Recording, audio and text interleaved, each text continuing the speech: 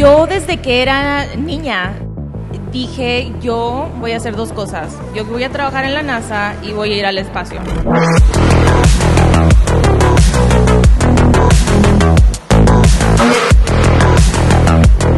Hola, yo soy Katia Chazarreta, soy la primera mexicana en el espacio, la americana más joven en el espacio.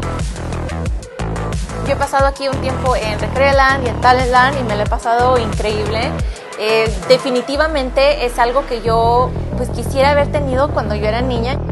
Es realmente un placer ver estos pasillos llenos en Recrealand, ver a padres, profesores y alumnos. Jalisco desde hace tres años y medio comenzó un proyecto educativo, Recrea, como lo plantea, es que las personas crezcan integralmente y hemos encontrado que tenemos una nueva realidad en el acceso que tienen los niños y las niñas a la tecnología. Sí hay que crecer en lo intelectual, sin duda, pero también hay que crecer en lo físico, en el bienestar, en la salud, pero también en el arte, la cultura, la ética los valores. Recrea prevé todo eso y prevé que no solo aprendemos en la escuela, también aprendemos en el hogar y aprendemos en el parque y aprendemos en todas las situaciones lúdicas, incluso adversas que se nos presentan.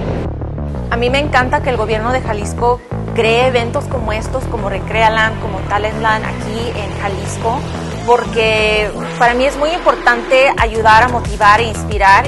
Katia, la verdad que es una persona extraordinaria, es una persona que no solo vivió una experiencia en el espacio, sino que tiene la capacidad para transmitirle a los niños su historia de vida como un elemento de motivación, pero no se queda ahí, también les da los caminos muy concretos que deben de hacer para que sus sueños se cumplan. Yo sé que se puede, pero yo soy una persona con el apoyo del gobierno y el apoyo para crear un evento de, este nivel. ¿Cuántas personas vamos a poder inspirar? en Talentland y Recrealand, ven y conecta tu talento.